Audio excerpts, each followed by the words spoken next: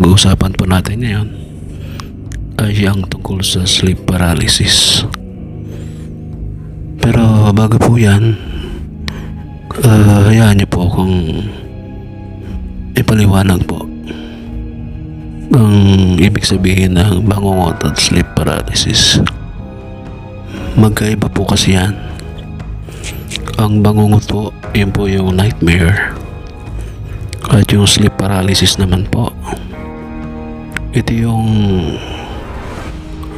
nagising ka na mula sa pagkakatulog pero ah, hindi ka makadilat, hindi ka makagalaw, hindi mo maibuka ang bibig mo, hindi ka makapagsalita.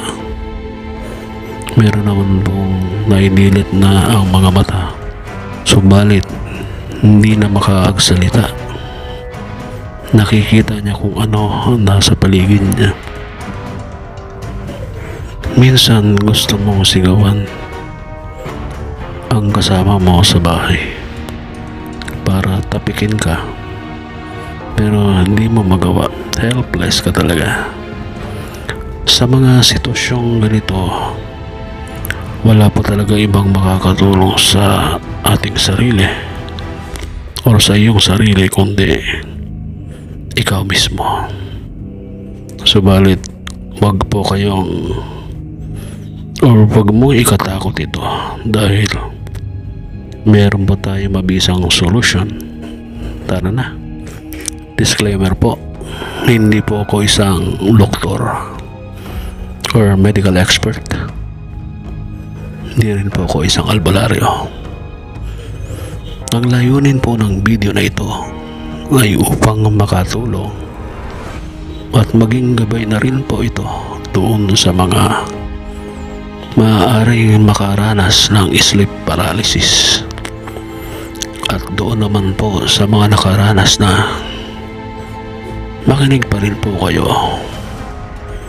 Dito at makakatulong po ito sa inyo.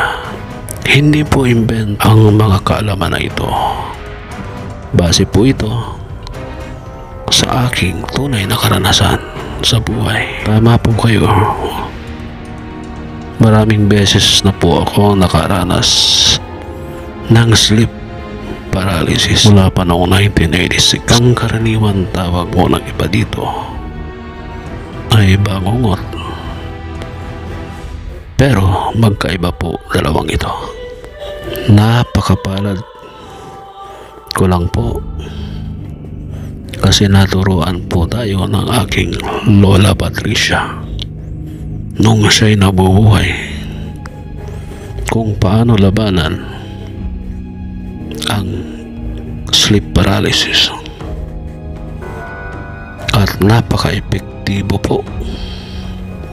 Marami na rin po akong kakilala na naturuan ko ng pamamaraan ito. Base sa aking experience pag nakakaranas nito tatlong parte lang po ng katawan. Ng isang tao ang kayang igalaw. Kahit anong lakas pa ng katawan natin. Una mata. Hindi po kasama ang talukap.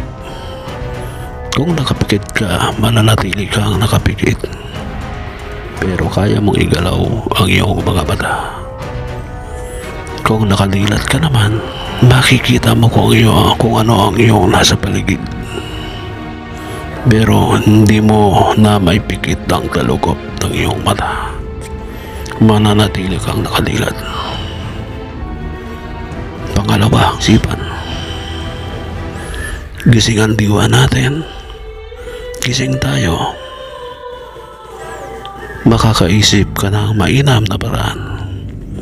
Magagamit nyo ang isip sa prayer o pagdadasal. Pangatlo, ang mga daliri sa paa. Ito lang po ang siyang laging tutulong sa atin sa sitwasyon na ito. At ito rin po ang pag-uusapan natin. Ito po ay magliligtas sa buhay ng nakakaranas nito. Kaba, takot, nervyos, kapos sa paghinga. Ilan lang po ito sa mga mararanasan dulot ng sleep paralysis. Bago po tayo dumako sa ating pinale, alamin muna natin kung ano ang mga dapat gawin at hindi pwedeng gawin bago matulog. Una, bawal pong matulog ng sobrang busog or yung katatapos lang pong kumain. Pangalawa, bawal pong matulog na may cover ang bibig at ilong. Ito po yung naglalagay po ng kumot, unan, anumang bagay dahil napakahirap po huminga. Lalong lalo na po doon sa mga may sakit sa puso at sakit sa baga. Pangatlo, bawal matulog ng nakasuot ng sapatos. Bakit po? Kasi hindi mo kayang igalaw ang iyong mga daliri. Pang-apat, bawal matulog sa kulob na lugar or walang ventilation. Panglima, mainam na uminom po ng tubig bago matulog. Pang-anim, at ito ang pinakamabisa pa sa lahat. Magdasal po tayo bago matulog. Dumako na po tayo. Habang nakakaranas nito, maging kalmado po tayo at magdasal. At gawin ng walang tigil ang mga sumusunod. Una,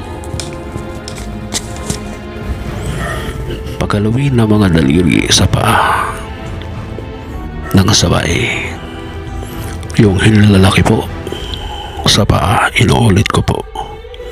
Yung dalawang hinlalaki sa paa ay ikiskis sa katabi nitong daliri nang walang tigil hanggang ikaw ay makagalaw na.